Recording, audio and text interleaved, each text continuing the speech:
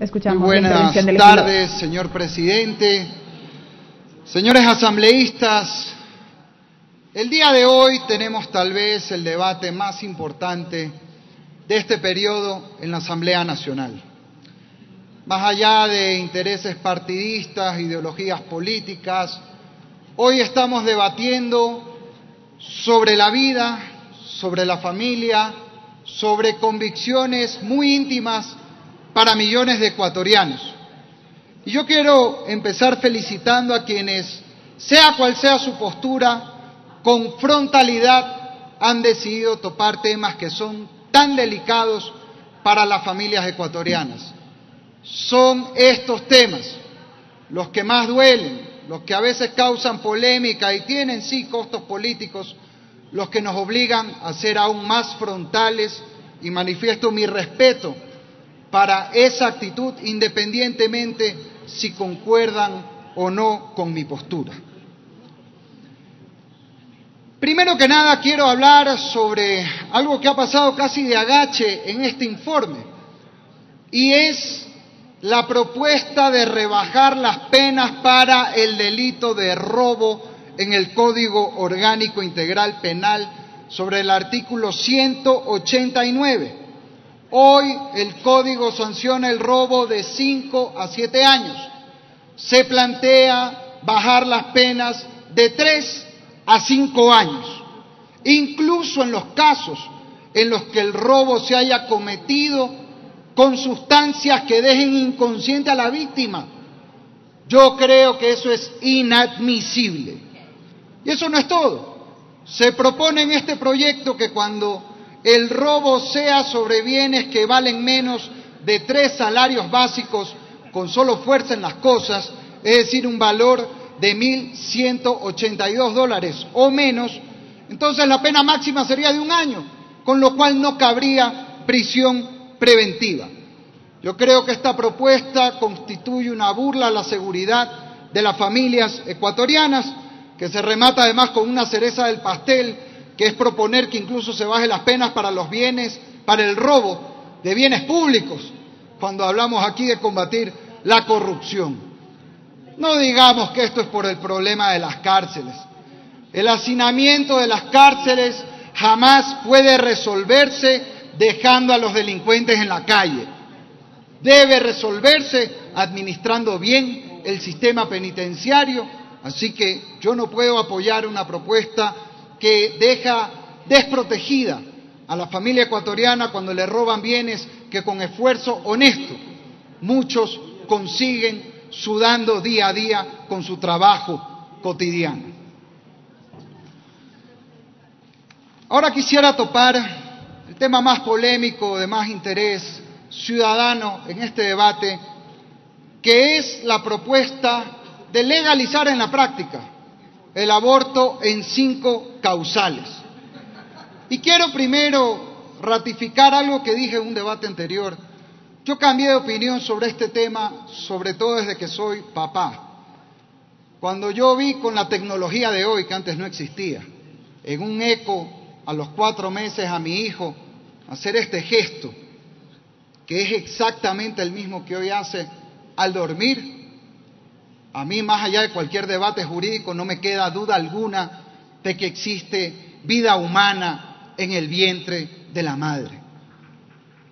Y no, como decía incluso algún abogado en televisión, algo no sé si estaba sobrio, que si abortar es matar, entonces la masturbación es un genocidio, porque hasta ese nivel de expresiones en este debate público hemos escuchado de quienes menosprecian la vida desde la concepción. Ahora, también quiero ratificar algo que he expresado en público. Si la propuesta fuera exclusivamente que no haya sanción de cárcel para la mujer que aborta luego de una violación, tendría mi voto. Pero lo que hoy se propone va mucho más allá. Lo que se plantea en esta reforma es que en los casos de aborto por cinco causales no haya ninguna sanción a ninguna de las personas que intervienen en el acto, lo cual significa en la práctica legalizar que se practiquen abortos en esta cinco causales. Yo creo que hay que decir las cosas de frente. Y eso yo no lo puedo apoyar, no solo porque esto forma parte de una agenda que algunos han dicho abiertamente en la Asamblea y valoro la frontalidad, para promover la legalización del aborto libre en el país, sino también porque aquí hay una serie de contradicciones y cabos sueltos. En primer lugar, no hay ningún sustento técnico ni ha sido materia de debate por qué fijar en 14 semanas el límite para autorizar un aborto. La mayoría de los países de la región lo hacen a las 12 semanas, ¿por qué aquí 14?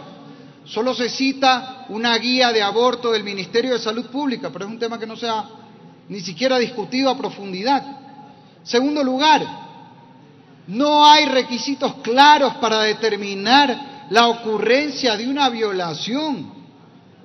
Se atiene a la sola declaración sin establecer algún parámetro, por ejemplo, relatar la circunstancia de los hechos, contar quién fue el responsable, si obviamente fuera posible determinar su identidad. Hay casos donde obviamente no se puede. En el caso de la malformación del feto, no se dice nada en el informe sobre un testimonio que aquí todos escuchamos de Pablo Crespo, un abogado que nos dijo en este pleno de la Asamblea, yo no debería haber nacido, porque a él, o a su mamá mejor dicho, le dijeron que el feto sería inviable que no podría vivir, pero aquí vino vivito y coleando a contar su testimonio humano y decirnos, no juguemos a ser Dios. ¿Cuántas veces a alguien no le han dado seis meses de vida y luego vive cinco años? ¿Quiénes somos nosotros para decir que un niño por nacer inevitablemente va a morir cuando hay casos en la práctica que nos demuestran que se cometen errores y nuevamente, más allá de estadísticas, aquí nos lo dijo alguien que personalmente vivió esa experiencia. Por otro lado, se omite también datos que fueron presentados en la comisión. Uno que creo yo es elemental, y es que según datos oficiales no existen mujeres presas por el caso específico de aborto por violación o de las causales que se están debatiendo el día de hoy. Y en cuanto a la mortalidad materna, todos los abortos del Ecuador, no solo por violación, incluyendo los legales, los espontáneos, todos en conjunto no representan ni el 0,04% de las causas de muerte femenina en el país.